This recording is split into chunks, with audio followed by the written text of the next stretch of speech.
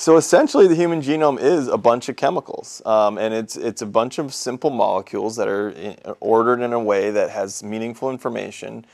Um, but the real the real way I came into studying genomics is is um, was through chemistry, but in a very odd twist of fate. Um, I went to went from undergraduate loving chemistry, and decided that that's what I wanted to pursue in graduate school. And at the time I was studying chemistry in graduate school, the human genome was sequenced. And now I had a whole new playground that I became interested in. I became less interested in understanding how these, what these chemicals looked like, but rather understanding how these chemicals could be combined to provide information and how a cell would know what to be. Um, and I became very intrigued by this idea that the exact same human genome is, is in every cell in our body, yet cell, all sorts of different cellular phenotypes occur. You get an eye cell, a liver cell, a heart cell, a brain cell, but it's all bred off the exact same template. And so I became fascinated, completely irrespective of chemistry. It was just sort of a side door of understanding this question. Now that we had this sequence, what parts of it were being read by different cells that would make them into a brain cell, liver cell, or a heart cell? My, my favorite question right now is this the exact same genome is in every cell in our body.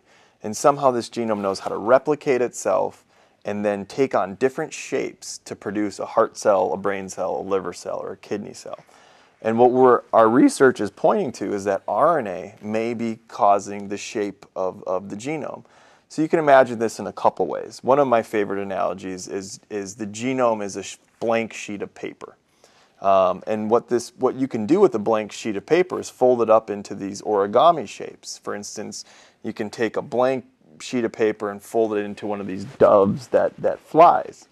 And what we think is happening is RNA is causing these folds in the paper or the genome to package it up and let some areas be open and exposed, like the wings, and some parts of the paper being buried and inaccessible that make up the body of it. Um, and just by changing folds slightly, you can change from a dove to um, all sorts of different shapes um, that, that we've all seen in these um, origamis. So I like to think of RNA as a potential way of doing genomic origami. And if we could, by looking at multiple different cell types and which RNAs are in each one, we can deduce which folds are being made by which RNAs. And if we could deconvolute that code, which is very difficult, and that's what we'll be pursuing for the next 10 years, but it has a lot of promise in the sense that imagine you have this dove in this beautiful shape, and in cancer, one of the wings breaks. But if we knew which RNA had actually made that wing fold in the first place, we could put that RNA back into a cell and fix damaged genomes. Um, and that's really the overall hope is that if, if we could sort of if a secret master of origami gave us the code of all the folds to do like you would follow in a direction book, then we could fold the genome into any shape we wanted. We could engineer the blank sheet of paper sort of like a stem cell. It's a genome with no shape. And so if we could figure this out, we could not only fix broken genomes, uh, but we could make any genome of our choosing in shape.